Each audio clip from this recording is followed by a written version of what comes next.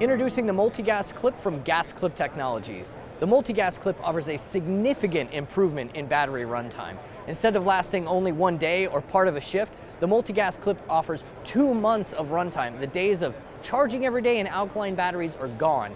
In addition, our LED-driven infrared combustible sensor eliminates sensor poisoning, requires no oxygen, extends calibration, and fails to safe. With the multi-gas clip dock, bump testing and calibration is now portable, simple, and more efficient. Housed in a rugged Pelican case, testing four units simultaneously, stores all the records on a USB stick, and allows for easy bottle gas replacement.